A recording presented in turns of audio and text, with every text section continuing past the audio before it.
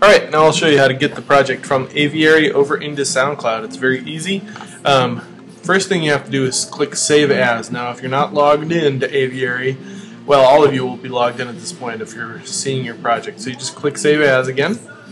Um, or if you've already saved it, uh, and you probably will have, example, uh, you'll simply click Mix Down. But I'm going to click Save as a new creation it'll go through the process of saving.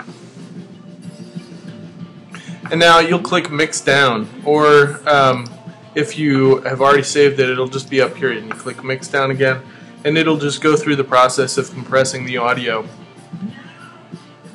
Once it's done, you'll see a new dialog pop up, this di this this dialog box, um, and it says this work is a draft if you're finished, you can publish it to make it discoverable on Aviary. We want to publish it, but we don't just want to publish it to Aviary, we want to publish it to SoundCloud. Now, if this is the first time you're doing this, you will see a thing that says link account to SoundCloud, and you have to go through the process of linking it to SoundCloud. And either you have an account on SoundCloud or you don't.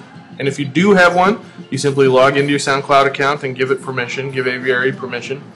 And if you don't have an account on SoundCloud, you can register for an account. I already do have an account on SoundCloud, and I've already linked my account to my Aviary account.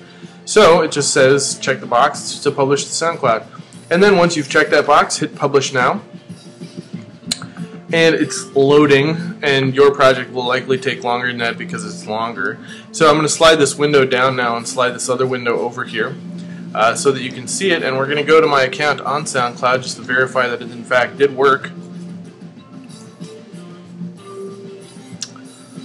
Here we go, it's loading. There it is, and I'm just going to click login. Login.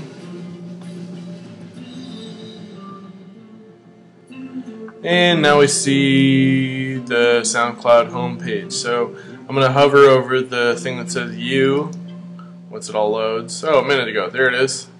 And listen, I just used all the Misty Mountain tracky things, so Oh, it's very quiet. You can hear it in the background. Um, it works. Uh, that that's the example project directly off Aviary that I just exported, and it pops up here in SoundCloud file. Now to get it on Simile 910, um, you simply click the share button, and you're going to copy this code. Well, you know what? I'll show you that in a different video. Anyway, that's how to get it on SoundCloud.